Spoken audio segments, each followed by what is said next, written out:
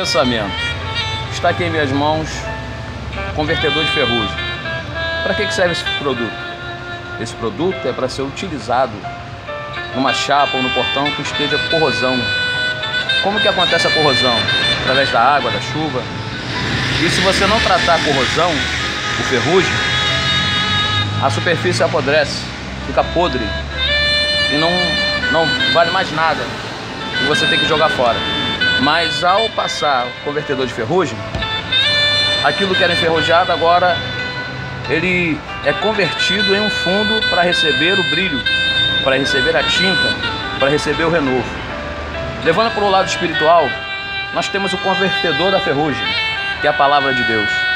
Aonde a palavra de Deus entra, possa até estar enferrujado, mas não está podre, ainda tem jeito. Então, use a palavra de Deus na tua vida como convertedor desse algo que está enferrujando você, que está deixando você quase sem valor, sem brilho. Enquanto não apodrece, ainda há jeito.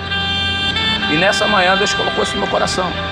Use a palavra de Deus como convertedor daquilo que está te levando à ruína, daquilo que está te levando à destruição. E certamente o brilho vai voltar. Para receber o brilho, o brilho é o Espírito Santo de Deus. Fique com essa palavra refrita, ainda há jeito para você. Pai do Senhor.